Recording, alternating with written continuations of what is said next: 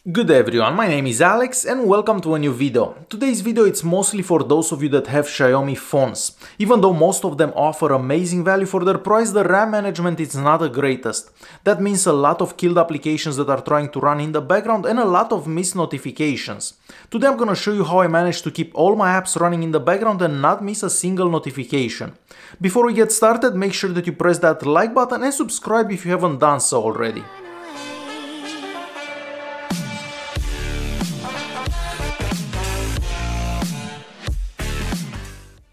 Alright, let's start with the first step. So first of all, go to settings on your Xiaomi device, scroll all the way at the bottom, and here go to about phone. So we're gonna have to enable the developer options. To do that, you're gonna have to click on the MIUI version here about seven times. So do this about seven times and it will be enabled. If you already done this in the past, you're gonna see this uh, message here, but if not, you're gonna see another message saying that the developer options has been enabled. Once that's done, you're gonna go back, you're gonna go to additional settings, look for the developer options here, so here uh, for my phone, and go all the way at the bottom. And here you're gonna have to turn off the MIUI optimization. And whenever you're gonna do this, the phone is gonna reboot. Alright, now that the phone is back on, go to settings once again. Here at settings you're gonna find the battery and performance. Click on that click on this one right here and here you're gonna turn this off and go back. Alright, so for the next step you're gonna go back to settings, you're gonna go back to battery and performance and you're gonna click on power.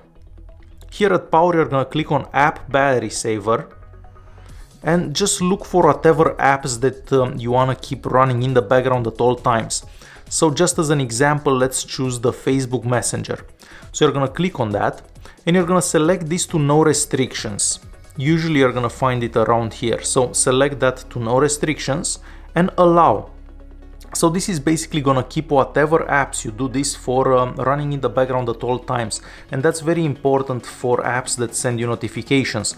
So for Gmail, for example, for WhatsApp or anything like that. So all the apps that you wanna have running uh, in the background at all times, you're gonna have to do this. So no restrictions and allow. After you're done with all that, you're gonna go back to the settings app. So once again, going to the settings app, you're gonna look for permissions and here at permissions, you're gonna click on auto start. So here you're gonna select whatever apps you need running in the background at all times. Me personally, I have every single app uh, that I use uh, on a daily basis. So all these are the apps that I want uh, running in the background at all times. But for you, it may be different. So for example, if you want the Facebook Messenger to stay on at all times and send you notifications and so on, just uh, select that one um, so it can uh, auto start by itself. So this is the next step for keeping all those apps running in the background. For our last step, you're basically gonna open all the apps that um, you set in the previous step. So in my case, it was the Facebook Messenger. So click on it, open it, and then go here to multitasking and lock it.